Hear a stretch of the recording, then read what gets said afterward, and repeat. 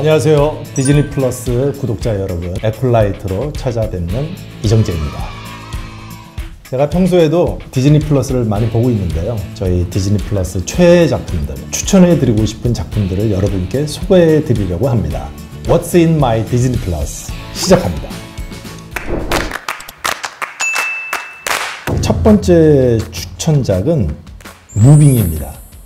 제가 작년에 디즈니 플러스에서 정말 재밌게 봤던 작품인데요. 저를 포함해서 많은 분들이 사랑을 해주셨고, 정말 많은 팬분들이 생겼고, 해외에서도 아주 큰 좋은 어, 영향을 끼쳤던 그런 작품으로 알고 있습니다. 한 작품 안에 히어로, 초능력, 액션, 스릴러, 누아르, 로맨스, 뭐 시대극, 학원물까지 모든 장르가 어우러지면서도 각각의 장르만의 재미가 다 살아있는 아주 종합 선물 세트 같은 그런 작품이었던 것 같아요. 아직 만나보시지 못한 분들이 계시다면 꼭 디즈니 플러스에서 감상해 보시기를 추천드립니다.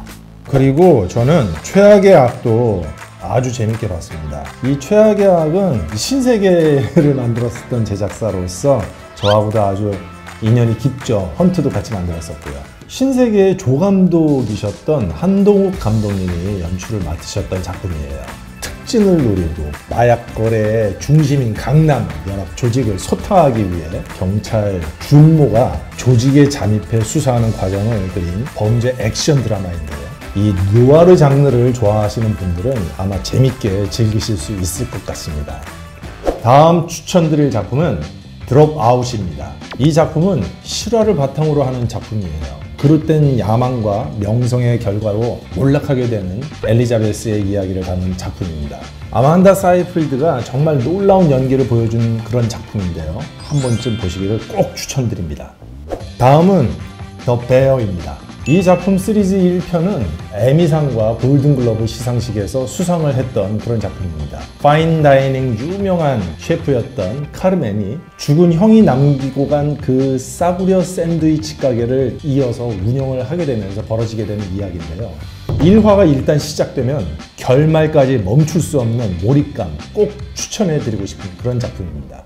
다음 작품은 만달로리안입니다. 모두를 또 한 번 스타워즈와 사랑에 빠지게 만든 작품이죠. 그로구.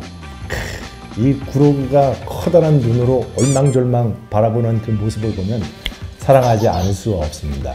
무엇보다 이전 스타워즈 legacy를 몰라도 편하게 보실 수 있는 작품이라는 게 기존 스타워즈를 접하지 않았던 팬들에게 정말 매력적으로 다가왔을 것 같은 그런 작품이고 만달로리안도 꼭 추천드립니다.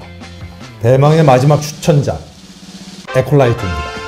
일단 어떤 분들한테 추천드리고 싶으냐 하면요 스타워즈가 궁금한데 뭐부터 봐야 할지 모르겠다 하시는 분들에게 추천드리고 싶습니다 지금까지 나온 스타워즈 시리즈 timeline 중에 제일 처음에 스타워즈 1편인 스타워즈 보이지 않는 위험의 약 100년 전 이야기로 제다이 기사단들의 황금 시대였던 고공화국 시대에서 일어나는 사건이기 때문에 스타워즈를 한 번도 안 보셨던 분들도 부담 없이 즐기실 수 있습니다.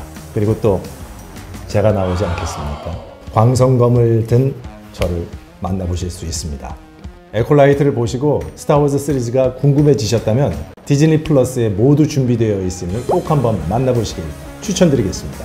이렇게 저 이정재의 What's in my 디즈니 플러스를 살펴보셨는데요. 제 취향 작품들을 추천해드리는 시간이 있어서 저도 신나게 얘기한 것 같습니다. 제가 소개해드린 이 작품들은 지금 바로 디즈니 플러스에서 만나보실 수 있고 6월 5일 공개되는 에콜라이트도 많은 사랑 부탁드립니다.